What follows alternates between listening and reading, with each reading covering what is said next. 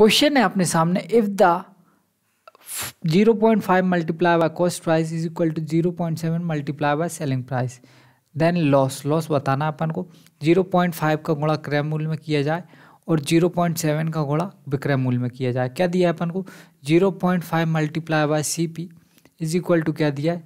0.7 multiply by S P ठीक है, यहाँ से अगर अपन सी पी और एस पी का रेशो देखें या फिर सी पी और एस पी का रेशो देख लेते हैं। C P upon S P ये क्या आ जाएगा? ये आ जाएगा zero point seven upon zero point five ठीक है?